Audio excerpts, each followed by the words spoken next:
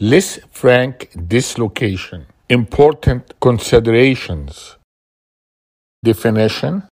Important anatomy. Lisfranc ligament. Mechanism of injury.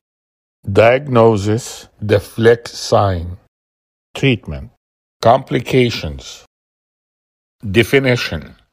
Less frank injury is a tarso-metatarsal fracture dislocation that involves the medial cuneiform and the base of the second metatarsal. The severity of the injury can range from a mild sprain to a severe dislocation or fracture dislocation. The Lisfranc dislocation can be purely ligamentous injury or bony injury or a combination of both. The metatarsals are usually dislocated dorsally and laterally. The condition could be missed. It may result in progressive foot deformity, dysfunction, chronic pain, and arthritis. Important anatomy Lisfranc ligament, the oblique interosseous ligament, Lisfranc ligament, is the strongest ligament. The region is stable because the bony architecture is connected to strong ligaments, especially the less frank ligament. The osseous stability is provided by the Roman arch arrangement of the metatarsals, and the Lisfranc ligament stabilizes the second metatarsal to maintain the mid-foot arch. The less frank ligament is between the medial cuneiform and the base of the second metatarsal.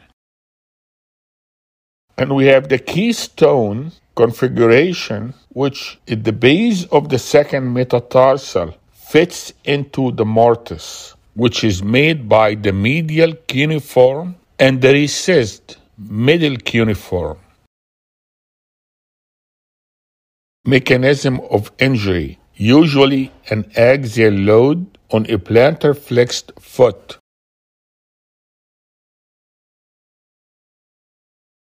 Diagnosis is done by a combination of clinical exam and x-rays.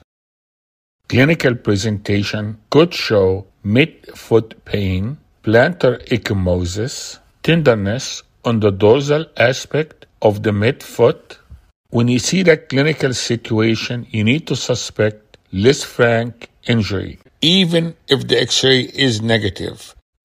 The fleck sign is a small avulsion fracture at the medial base of the second metatarsal. It represents an avulsion of the Lisfranc ligament. The diastasis between the first and second metatarsal of more than 2 millimeter is considered less frank injury. The injury may be subtle and can be missed, so you will need to get standing weight bearing x ray if the injury is suspected. Compare the x ray to the other side. Treatment If you have a purely ligamentous injury, the treatment will be early fusion of the first and second tarsometatarsal joints. Ligamentous injuries to the tarsometatarsal and intermetatarsal joints resulted in a worse outcome following open reduction and internal fixation than Lisfranc injuries that involves fractures.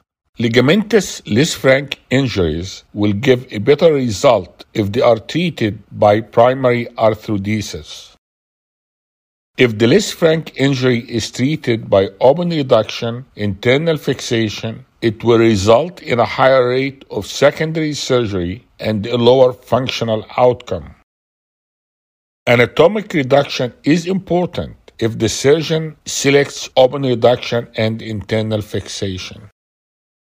If you do open reduction and internal fixation for ligamentous injury, the patient may have persistent pain and arthritis.